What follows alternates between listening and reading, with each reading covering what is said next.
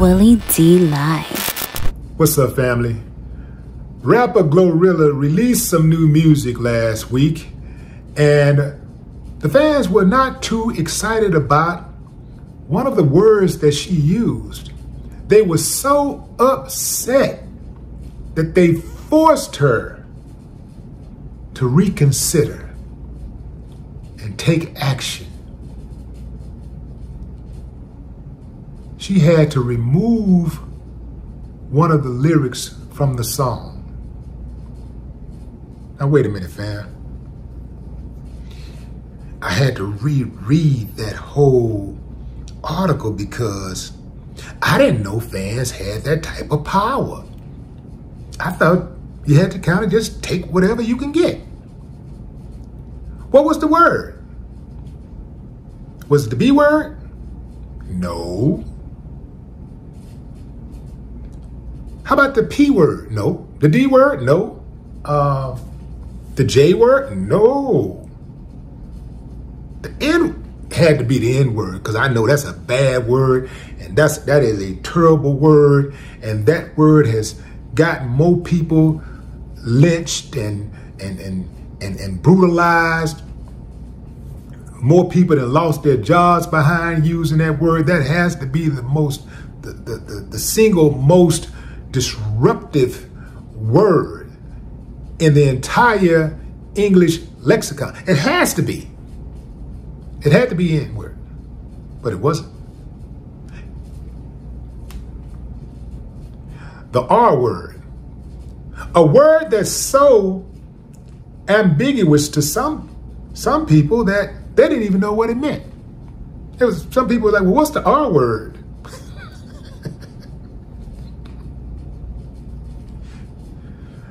Retarded.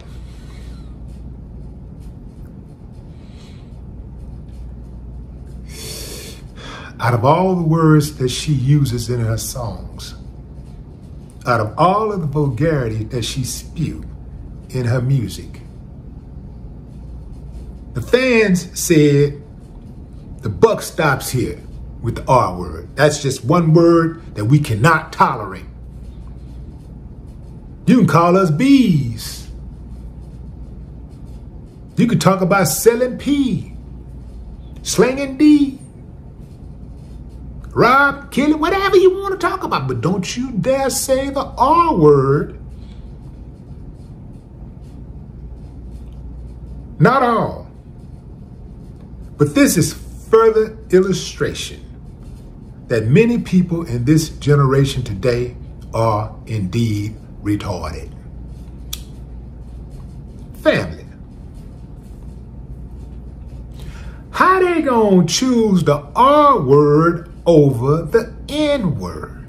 If there's any word that has to go, if we're to start this censorship thing where we taking certain words, you know, out of music, N word, it's got to be at the top of the list.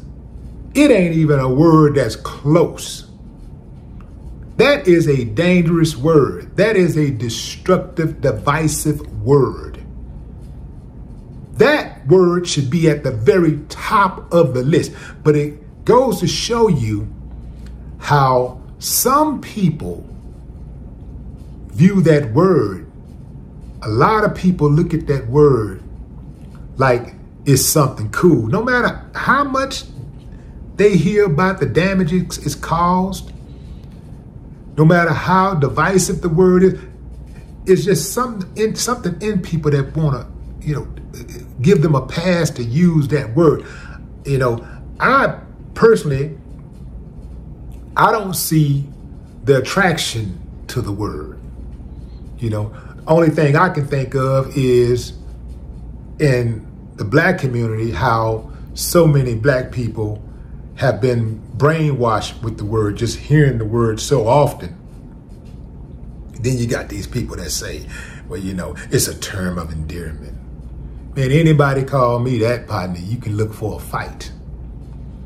Now, I ain't gonna say I ain't never used the word. I've obviously used the word, but whenever I've used that word, I use it for its exact intention. When I say that, I got it on my mind. I'm looking at that person as somebody vile. I'm disgusted. There is no way to use that word in a, as a term of endearment to me. Point blank, period. This also further illustrates that the fans do have a say so in what artists put out. The fans, at the end of the day, gets to determine who makes it and who don't. What actually goes to the top and what don't. Listen, listen. A consultant can say, yo, we're going to push this song we're going to play this song. They can play it all day long. But if the fans disconnect from the radio when they play it, they're going to have to play something else. If the fans decide, we're not buying the record, we don't give a damn how often you play it. We're not going to see him or her in concert. We don't care how big you try to make them. We don't care how you try to blow them up. We're not buying into it. The fans got the final say so. So when people talk about the artist is whack, I have to disagree.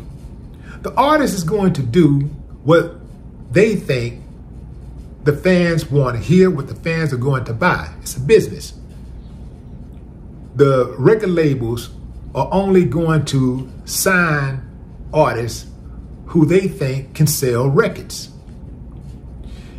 If they can get an artist to talk down on their community and contribute to the destruction of their community, well, hell, that's a two for one.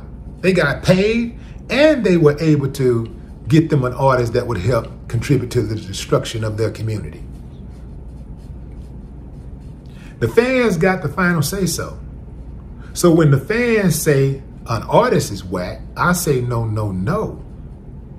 The fans are whack. Because the fan, that artist wouldn't be popular without the fans. If the artist is low vibrational, his audience has to be low vibrational. Right or wrong? Even if he got one, even if he got three fans, just three fans bought his music. Those three fans got to be low vibrational if they bought that music. That's how that goes. They really are tripping over the R word they came at her for that. Not for all of the other vulgarity that she spews. Not for all of those other divisive words.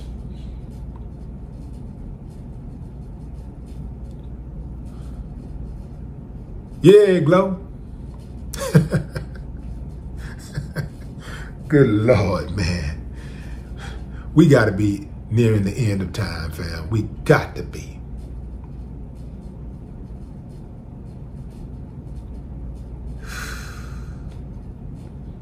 No more talk, man.